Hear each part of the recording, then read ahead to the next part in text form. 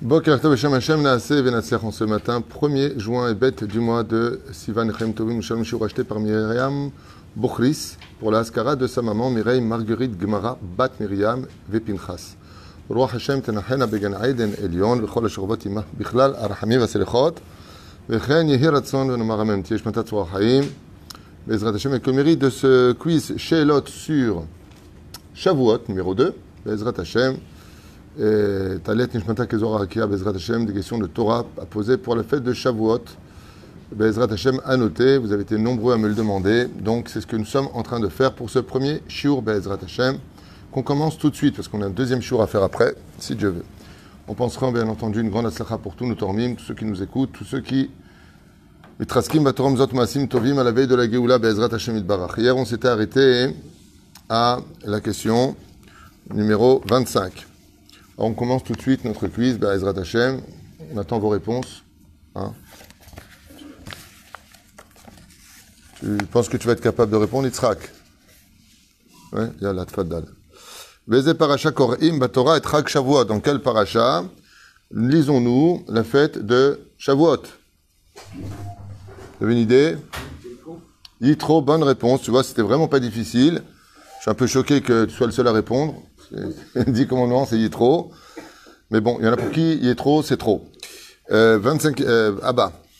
Ketzad metaharim chazal et matzav abriya beshat matan Torah. Comment est-ce qu'on voyait, selon les explications de nos sages, la situation de la création pendant cette période du don de la Torah? Cette question n'est peut-être pas euh, très claire. C'est-à-dire quel a été le comportement des animaux, plus exactement? Je pense qu'on devrait le traduire comme ça pendant le don de la Torah. Qu'est-ce que vous avez à répondre Ils se sont figés. Tzipor lo, tzitsia, of lo parach. Les oiseaux n'ont pas euh, piaillé, je crois qu'on dit. Hein euh, les, les, les, volatiles n'ont pas décollé du sol. Les, euh, le, les bovins n'ont pas... Comment tu dis Beuglé. Ouais, entre autres. Tout était figé exactement. Au fait, lo afou, euh, Séraphim, les anges ne, sont pas déplacés, personne n'a bougé exactement, tout était figé pendant le don de la Torah, comme si qu'on était sur pause, arrêt, image. Zazarbria, vélo d'Ibrou, aucune espèce d'animal n'a bougé de sa place, ni n'a réagi comme il l'aurait fait de façon instinctive. Voilà ce que nos Chachamim nous disent pendant le don de la Torah. Meze Lomdim Shaita Ba'am Israël Be'ar Sinai, de quel verset on apprend que euh, le peuple d'Israël, enfin, enfin, sauf, sauf, avait cessé de se critiquer, de se juger du mauvais côté, et que tout le monde s'aimait, et que tout le monde ne formait qu'un seul et unique personnage en tant que peuple Bédiou, qu'il n'y a pas besoin de se prendre la tête plus que ça. Vaïchan Sham Israël Negeda'ar. Ils se sont réunis. Vaïchan, Vaïchan Sham Israël Negeda'ar ils étaient tous face à la montagne. Et quand l'homme dit, alors là, ce que dit euh, Béacher Yakar, c'est le Rashi. Et Ishechad Bel sur ce verset-là. Mais dans la Torah, c'est pas marqué Ishechad Bechad. C'est Rashi qui explique par rapport à Vaïchana'am Negeda'am. Ah, c'est-à-dire Donc la réponse est, ils se postèrent face Israël, face à la montagne. Et là, on apprend que Behemet, Kulam Amdu, Keishechad Bel Ebechad. Chez là-bas, et mi lakach hakadosh baruch hu arevim al netinat Torah l'Israël ou madoua. Qui Akadosh baruch Hu a-t-il pris comme étant les garants du don de la Torah Dieu, comme un banquier ne donnerait pas de l'argent à quelqu'un s'il n'a pas de garantie, Dieu nous a donné ce qu'il y avait de plus cher de sa création, la Torah. Qu'est-ce qu'il a pris Les les enfants. Et tinokot shebet raban shelo chateu. שהיו ערבים על אבותיהם מפני שעדיין אין להם חובות כלפי הקדוש ברוך הוא. Pourquoi les enfants parce qu'ils n'ont pas de dette vis-à-vis d'Hachem, ils naissent purs et n'ont pas de faute sur eux. Et et pourquoi pas ceux qui étudient la Torah? Parce que c'est pas parce que tu étudies la Torah que tu n'auras pas de faute. Pour être un rêve, il faut être sans faute vis-à-vis d'Hachem. Kama Anashim Asaf Boaz. On passe une de questions sur euh, la Megillah de Ruth, Bezrat Hashem. Combien? Kama Anashim Asaf Boaz et Halacha Im Moavia Yechola Lavobik al. Combien de gens dans la Megillat Esther, dans la Megillat Esther, la Megillat de route, pardon, a pris Boaz pour fixé la halakha qu'une femme de Moab peut se convertir et non pas un homme? Bon, on répond tout de suite, dix hommes de la ville. Tu connaissais la réponse? Dix hommes, nous dit la Megillat Ruth. C'est-à-dire Qu'est-ce que Dieu a exprimé quand les enfants d'Israël ont répondu Vous savez que dans ma Sechet Abodazara, Dieu a proposé la, la, la, ils disent que Dieu a proposé la Torah à toutes les nations. Ils ont dit qu'est-ce qu'il a marqué dedans? Est venu Edom, est venu Ishmaël, est venu Moab. Et Israël ont dit Naasev Nishma. Qu'est-ce qu'a répondu la Shrina Migila Raz. Migila Lebana et Raz. Ze Shemalchei Asheret Mishtam Shimbo. Qui, comme c'est marqué dans ma Sechet Shabbat, à la page Pehet Amoud Aleph, qui a dévoilé ce secret que seuls les anges savent répondre? Naase ve Nishma. Donc Dieu s'est étonné en disant Qui a dévoilé ce secret que seuls les anges connaissent? C'était la réponse. Eze mitzvah mekamim. Qu'est-ce que tu as de sadique Qui c'est qui t'embête? Qui c'est qui, qui, nous a dévoilé? Naase Nishma Oh Chez la Tova, Rabbi Ouda. Qui nous a dévoilé cela? La réponse est Haïmaot Akedoshot. C'est Rachel et Léa. Quand est venu Yaakov, c'est une très bonne question qui pose Bémet, Migila nous? Quand Yaakov a demandé, quand il était chez Lavan, l'autorisation de partir à ses femmes, ils lui ont dit voilà, votre père m'a trompé plus de mille fois, aujourd'hui il n'est plus avec moi comme avant, je ne me retrouve plus ici. Et il dit à un moment, et Dieu m'a demandé de monter à Luz. Et tout de suite ont répondu Rachel et Léa, Kol ma sheomer lecha Hashem, assez. Tout ce que tu dis Dieu, fais. Comment tu perds du temps à nous poser la question? Mais kan lamdou bachinouch, dans l'éducation, naase, venishma, dès que Dieu parle, naase. D'où est-ce que ça vient? Quand Yaakov quitte la Mésopotamie pour retourner en Eretz. Ça, c'est pas ici. Zéro. Misham. Hazak ve'emat, tzadik, yavduchamim. Alors, eze mitzvah kulam mekaimim baregalim. Quelle est la mitzvah que tout le monde pratique pendant les shalosh regalim? Bonne réponse. Oui, c'est une question vraiment de Kita Aleph. Hein. A la règle, simplement. On a le devoir tous de monter à Jérusalem, Tibanev Tikonen, capitale du peuple d'Israël et de tous les cœurs juifs. Ephéméode. Be'ezet Kufa, Karum Ordraot, Bemigilat Ruth. À quelle période a eu lieu l'histoire de Ruth à Moavia À quelle période ça a eu lieu? Bonne réponse, à l'époque des juges, tout de suite après la mort de? Non. De?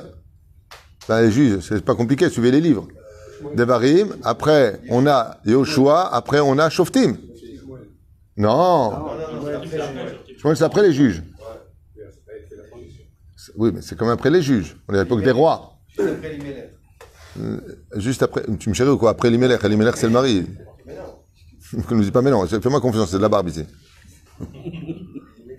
L'Imelech c'est le mari de de Naomi. Hein. C'est bon, tu fais tchouva? C'est juste après la mort de Yoshua Benoun, Elimelech prend la place. Qui vivait à cette époque, un des plus grands sages à l'époque de Yoshua Benoun, et qui est en transition avec eux, Otniel Ben Kenaz, ce fameux grand sadique Klal, qui rapporta les 3000 halachot oubliés, il y en a qui disent 300 halachot, 3000 halachot oubliés par Yoshua Benoun, Otniel Ben Kenaz. Qu'est-ce que tu as? C'est le mot Kenaz qui... Eden Elikif, il a entendu Kenaz, c'est tout ce qu'il a retenu lui. Razak Obaro. Je connaissais pas. Tu connaissais pas bien Ben Kenaz? Ouh, ça te dit qu'il est Sodolam. Il était tellement fort en Torah, il était capable, de par son, sa propre compréhension, de rapporter des lois que Moshe a reçues de Dieu dans le Sinaï. Pour vous dire à quel point Otniel Ben Kenaz était un grand sadique. Donc tout simplement, après la mort de Yoshua bin Nun, qui a vécu combien d'années Yoshua bin Nun? Bonne réponse. Tishma. Comme qui? Comme Yosef. Fait. Hazak Vemat. Deux sucettes pour eux. Trois sucettes. J'ai répondu avant lui. טוב, מבין שלושת הרגלים, האם שבועות הוא ראשון, שני ou shlishi Quel est l'ordre Dans les shalosh regalim, les trois fêtes juives, quel poste occupe la fête de Shavuot c'est la première des Shalosh Regalim, la deuxième ou la troisième La deuxième. La deuxième, et toi tu dis La troisième. Qui dit mieux La première. Pessah, c'est la première, tu dis Pessah, Shavuot, Sukkot. Donc la Torah dit c'est le premier mois de l'année. c'est ça. Marloquette, pour, qui dit première, deuxième, troisième. Ça me rappelle Armand Jameau. Et qui Donc, réponse, c'est bien sûr la deuxième. Pessah, Shavuot, Sukkot, pas shoot. C'était la deuxième, Yeti Kourijik. Alpi Torah, Maou, Misparo Shel Chodesh Sivan. Selon la Torah, Sivan est lequel mois de l'année? Deuxième. troisième. Le troisième. Deuxième. Deuxième. Troisième. Troisième. Troisième.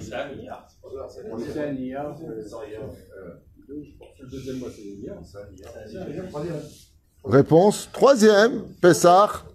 Ça tombe au mois de quoi quand on est sorti d'Égypte Nissan. Donc Nissan, Iyar, Sivan. Pourquoi trois mois d'Afka? Pourquoi on a attendu le troisième mois? Deux réponses que je vous donne maintenant qui ne sont pas dans les questions posées ici. La première, c'est qu'il fallait attendre de remonter les 49 paliers de Touma dans lesquels nous étions. Donc si on fait le compte, 50e jour, Ta'avdoun, avec un Noun à la fin, le 50e jour, donc ça faisait automatiquement deux mois plus. Donc ça fait troisième mois. La deuxième chose, pourquoi? Parce qu'il fallait nous débarrasser des sept avis avotatouma que nous avions sur nous. Et pour se débarrasser d'un père des impuretés, il faut sept jours. Donc 7 fois 7, 49. On est obligé d'arriver là-bas. Et pour finir, pour finir, on a un klal. Une femme qui divorce. Après combien de temps peut-elle se remarier? Trois mois. Pourquoi? Le- temps de vérifier qu'elle n'est pas tombée enceinte du mari précédent. Voilà. Donc c'est au troisième mois. De là, on a le minac d'annoncer uniquement au troisième mois qu'on est enceinte. Ça vient de là. Non, Deux mois et. dès qu'on rentre dans le troisième mois. C'est-à-dire Et si c'est avec le même mari Alors dans ce cas-là, on sait que l'enfant il appartient à celui d'avant. Aujourd'hui, on a des moyens de savoir. À l'époque, il n'y avait pas ces moyens de faire des piqûres, ainsi de suite. Il n'est pas obligé d'attendre trois mois. Malgré tout, c'est à la. Trois, trois mois seulement après. Un mari peut se remarier le lendemain, une femme trois mois. Parce que le mari tombe pas enceinte. Le cas où il a dit, ouais, pourquoi le mari et pas l'homme, euh, la femme? Donc voilà. Mais la reine, il fallait attendre, voir si Israël était toujours avec un embryon en elle de la l'impureté égyptienne, ou est-ce qu'elle a eu le temps de se renouveler Donc le troisième mois. Fait. Echan Ramuz Batora. Shetachlit Briata Olam Aïta Bishvil Atora. Où est-ce qu'on a une allusion que dans la Torah, que le monde a été créé pour la Torah Où est-ce que c'est marqué dans la Torah Où est-ce qu'on a une allusion Et alors Excellente réponse du Balatourim de Rechagav. Excellente réponse, le mot Bereshit. יפה מאוד. פש, תשמע, בראשית ברא אלוקים את השם ואת הארץ, בראשית, בשביל התורה נקראת ראשית. Qui est appelé Réchit La Torah. Dans le premier verset de la Torah, on comprendra là-bas que le monde a été créé pour la Torah. Hachem itzia et Torah les goyim au Ma'amrou. Bon, ça j'ai posé la question juste avant. Dieu a proposé la Torah aux anges responsables des nations du monde. Qu'est-ce qu'ont répondu les nations du monde? Ma katouf ba. Qu'est-ce qu'il y a marqué dedans pour que tu veuilles qu'on la respecte ta Torah? Asur lignov, anachnu chayavim lignov. Donc ça, c'est ce qu'il a répondu au fur et à mesure. Euh, L'ange des Sables a répondu, qu'est-ce qu'il y a marqué dedans? Dieu lui a dit, tu ne tueras pas. Lui mais tu vivras par ton épée, donc on ne peut pas vivre sans tuer. Il a posé la question à l'ange Ishmaël, il lui a dit, tu ne voleras pas. Il lui a dit, on est né avec. Il a posé, c'est ce qui a marqué dans la, c'est pas de moi. Hein. Il a dit, ah, t'as vu comment il parle et tout. Je, je lui dis ce qui a marqué. hein. Et pour finir, euh, Moab, il a dit, euh, qu'est-ce qui a marqué dedans? Dieu lui a dit, tu feras pas d'inceste. Il lui a dit, mais tu plaisantes ou quoi? C'est le père qui a couché avec sa fille, je suis né de là-bas. Moab, de mon père. Moab en hébreu, mon père. C'est fait. Erim, laila, shavuot. Pourquoi est-ce qu'on reste réveillé toute la nuit de shavuot? Question pour un champion. Parce qu'ils se sont endormis quand Dieu a donné la Torah. Euh, Bon, c'est le pshat, il n'y a pas que ça. C'est-à-dire, on va s'en tenir là, effectivement, ce que dit le Midrash, parce qu'on se serait endormi quand il y a eu le don de la Torah, hein, et c'est considéré comme étant une humiliation. Donc on vient réparer cela. Une autre explication, parce que normalement, tous les juifs, vous verrez quand il y aura la Géoula, le Mashiach viendra, il n'y aura plus personne dans les lits la nuit. Dans les? Nuits, il n'y aura plus personne. Quand il y aura le Mashiach et la Géoula, que le- la vérité sera sur terre, toutes les maisons d'études, vous voyez tous les matnassim, tout ça là, vous voyez tout ça? Ça viendra des maisons d'études. Le monde entier courra étudier la Torah. Et la nuit, normalement, on devrait tous se réveiller pour étudier la Torah, comme le dit le Télim ou le roi David. Bahatzat akum. Je me lève à Chatzot pour étudier ta Torah. D'accord? Alors, pour réparer toutes les nuits de l'année, on étudie à Shavuot. Et comme le monde a été créé pour l'étude de la Torah, le fait de veiller à Shavuot, ça vient réparer toutes les nuits. Normalement, on aurait dû se lever. Sachez une chose, je le dis pas pour vous, je le dis pour moi. Parce que moi, j'étudie aussi la nuit. Ma Halomot. J'étudie une fois à droite, une fois à... Ça dépend quand je me, je me tourne dans le lit. Mais il y a une chose au monde qu'on va regretter dans notre vie, c'est de ne pas avoir au moins étudié une heure pendant la nuit. Chaval meod meod. Heureux celui qui aura la force. Mais bien entendu, pas il se lève la nuit et fait un accident le lendemain parce qu'il est crevé. Il faut être intelligent. Tu, tu es payé pour travailler. Tu peux pas venir avec euh, un potentiel limité alors que tu es payé pour un potentiel 100% de, de travail. faut pas faire du, du vol. Le mec qui vient, il dort pas de la nuit, il est au boulot, il est en train de dormir. Euh, baba, va dormir. Aval, sachez une chose. Le corps, c'est une horloge. Quand tu l'habitues à deux heures, il reste deux heures. Moi, j'ai vu ça à l'armée ici. On dormait même pas deux heures quand j'étais à l'armée en Israël. Au début, j'étais blanc et tout. Troisième jour, quatrième jour. Le cinquième jour, il n'avait même pas besoin de me réveiller. On était tous ouverts, les yeux ouverts. Le, corps s'habitue à ça. En réalité, c'est, en réalité, ça dépend beaucoup de la volonté et de l'envie. Hein? Quand on n'était pas religieux, on allait en boîte de nuit. Jamais quelqu'un dit je suis crevé, je rentre. 5 heures du matin, euh, tu vas pas rentrer quand même. Ouais, viens, on va boire un café et tout. Par contre, à 10 heures, viens, on va à un cours de Torah, mais t'es ouf, je suis fatigué. Tov. Kamazman lifne briat haolam haïta Torah. Combien de temps avant la création du monde la Torah a-t-elle existé selon nos sages? 974 Dorot Kodem Shenivra Haolam. C'est marqué dans Maseret Shabbat Pechet Amud Bet. 974 générations avant la création du monde, la Torah a été écrite. Maya Merhak, Shel Am Israël Me'ar Sinai ou Madoua. Quelle distance devaient se tenir les enfants d'Israël du Sinaï et pourquoi à quelle distance? Des questions un peu plus soignées aujourd'hui. Hein? Alpaïmama. 2000 amot. Donc ils étaient à combien? Ils n'étaient pas en bas du pied de la montagne, ils étaient à presque 950 mètres. Hein? Non, mais les Juifs, on a le bras long, donc Dieu nous a mis un peu plus loin. Alpaim Ama. C'est. Maintenant, tu sauras quoi répondre. 2000 amot, soit presque 1000, 1 km, quoi, on va dire ça. Un troum, exactement. Chazak.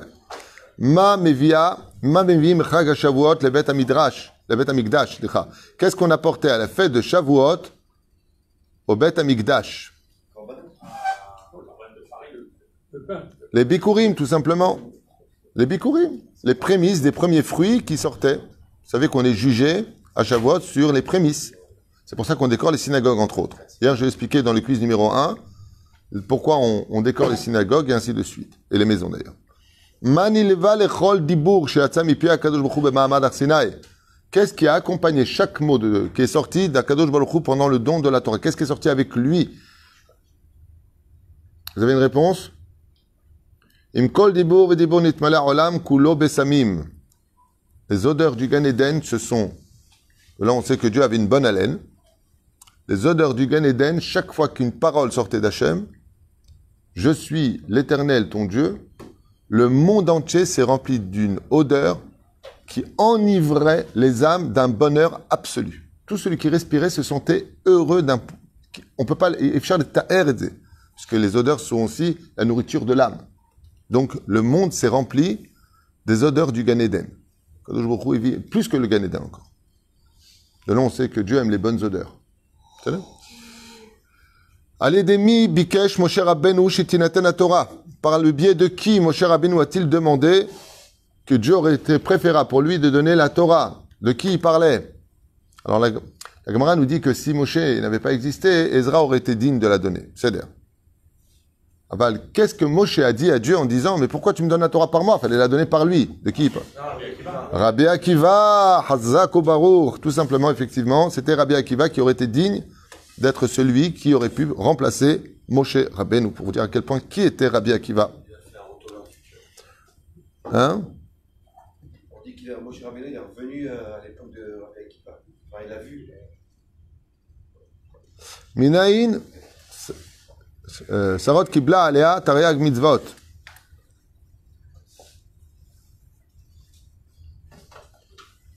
D'où est-ce qu'on a vu que dans la Megillat Route, elle a dit Je reçois sur moi les 613 mitzvot de la Torah. De là, on apprend qu'une convertie ou un converti doit prendre sur lui les 613 mitzvot de la Torah. Pas il fait ce qu'il veut, pas il va au supermarché des mitzvot, D'où est-ce qu'on apprend qu'un converti doit prendre sur lui les 613 mitzvot de la Torah? Dieu. Amer Ami, quand elle a dit, Ruth, ton peuple est mon peuple. À partir du moment où tu rentres sous les ailes de la Shekhinah pour te convertir, ta patrie devient Israël, ton peuple devient le peuple d'Israël, ton Dieu devient le Dieu d'Israël, et ta Torah, c'est la Torah d'Israël. Mais d'où est-ce qu'on apprend ça? Quand elle a dit, Amer, ami, ton peuple devient mon peuple.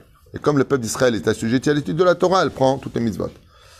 Et ce korban mivi'im bechag hashavuot bikure katsir chitim. Qu'est-ce qu'on apporte comme korban le jour de Shavuot Qu'est-ce que- Quel est le korban qu'on appelle, qu'on apporte à Shavuot Hmm, Précise On n'a pas le temps. Les deux pains. Shtalechem. C'est ça כיצד קשורים שלושת הרגלים להגבלת שלושת הצרכים החשובים של האדם?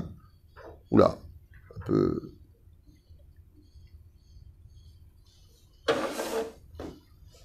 Quels trois éléments on trouve dans les chaloches régalim qui viennent euh, retirer des choses importantes dans la vie d'un homme? C'est-à-dire, dans la vie d'un homme, on a besoin de choses, d'accord? Chaque fête vient retirer un des principes fondamentaux qu'on a besoin dans la société pour vivre. Alors, il a fait, alors, bon, bon, ben, bon, on mange pas le, blé chametz, qui est, vital pour nous, le pain. À Sukkot, on dort dehors, on n'a pas d'appartement, on dort dans une cabane. Et à Shavuot, on a besoin de dormir tout le temps et on ne dort pas. Fémode. C'est une bonne question, je trouve, celle-là. Mamash pas mal. Miayu asaba vasavta chez David Amelech. Qui fut les grands-parents de David Amelech Grand-père et grand-mère. Boaz et Ruth, ta mère, et Mourad et moi. Boaz et Ruth. Bonne réponse. Et comment s'appelle le, fils de Ruth Oved. C'était dans le quiz numéro 1. Masa David Amelech alav shalom kede shelo. Qu'est-ce qu'a fait le roi David pour ne pas mourir à Shabbat? Il, il étudiait la Torah. De là, on apprend que tout celui qui se soit étudié la Torah ne peut pas mourir jusqu'au moment où il va se lever, peut-être pour aller aux toilettes ou euh, se retourner pour dire bonjour à quelqu'un ou autre chose. Qu'il est dans l'étude de la Torah, l'ange de la mort ne peut même pas le voir. Vous comprenez c'est quoi la Torah? Même l'ange de la mort ne peut pas s'approcher d'une personne qui étudie la Torah. Donc, il va le faire éternuer éventuellement, ou comme l'a fait le Satan pour le roi David, il a fait bouger un arbre, il s'est retourné, il a dit Makarapo, ah, il a, il a arrêté, tac. Même chef le Koujina. Féméode. Encore trois questions. Kama Mizmorim Yesh Besefer Teilim, combien de Mizmorim on a dans 157, dit-il. Et toi? 150. 151. Qui dit mieux? On dirait qu'on est à la vente. euh, Réponse 150. D'où 157, toi? C'est un Tunisien, il m'a dit. Les Tunisiens, ils rajoutent. Réponse, il y a 150 Teilim. Quel est le plus long, le plus long de tous les Teilim du roi David? Le 119, il y a Féméode. Féméode. Tu vois, tu as fait tchouva.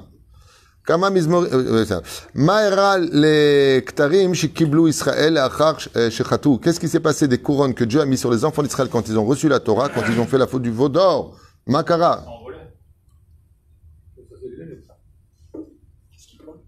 Les couronnes, les couronnes, ce sont, Tous les enfants d'Israël, sachez que quand on a reçu la Torah, on a reçu une couronne sur la tête, chacun de nous. Grâce à la Torah, on, de- euh, on devient des rois. Il y a eu la faute du veau d'or. Qu'est-ce qui s'est passé Bah, les anges, ils les ont récupérés. Il y a Féméode, les anges sont descendus, ont récupéré les couronnes. Et qu'est-ce qu'ils en ont fait Ils ont gardé pour plus tard. je sais Ismach, Moshe.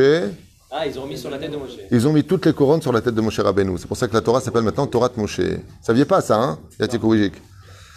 Encore deux questions pour ce quiz. Bezrat Hashem à vous préparer pour la fête de Sukkot. Ketzad, Metrila, Megillat Ruth. Comment commence la Megillah de Ruth Comment ça commence? Vayihi bime shofet ashoftim. Yafé Merod. Maou apasuk acharon shel Migilat Rout? Quel est le dernier verset de la Migilat Rout? Le Oved Olid et Ishai.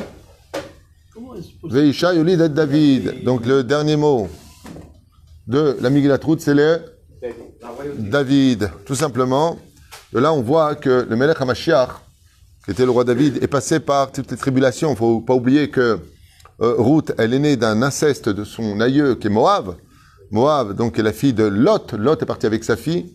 Ensuite, le roi David, il vient d'une convertie à un sujet très épineux. Est-ce qu'elle pouvait se convertir ou pas? Pourquoi tout ça, d'après vous? Pourquoi il y a eu besoin de tout cela? Réponse très simple, tout simplement pour faire comprendre que pour juger le peuple d'Israël à la fin des temps, le Melech HaMashiach sera obligé de passer par toutes les épreuves de ce monde, toutes les maladies de ce monde, toutes les situations les plus pures aux plus impures, pour que en lui, quand une personne se présente, c'est toujours pareil, quand tu, viens, tu as une, tuile qui te tombe sur la tête, tu vois une personne, personne n'a jamais eu ce problème. Tu vois que les conseils sont pas... Il n'y a, pas plus- y a pas mieux comme euh, réponse que celui qui est passé par l'expérience lui-même. Et donc le Mashiach, on voit ici qu'il est vraiment passé par toutes les situations afin de pouvoir juger son peuple. Oui.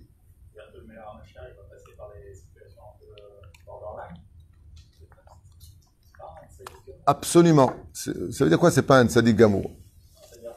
Dans toutes les générations, quand Mashiach est venu, il est passé aussi par la folie. Ben, le roi David est passé par la folie. Il a prié Dieu pour passer pour un fou. Il est devenu fou avec la bave et tout. Voilà, c'était pour le premier cours, c'est le quiz à partager Bezrat Hashem. Prenez des notes pour passer un très très bon Shavuot à table avec des questions. Bezrat Hashem. Et on se dit à tout de suite pour le prochain cours sur un sujet qui est justement très important et épineux de notre génération par rapport à la Torah.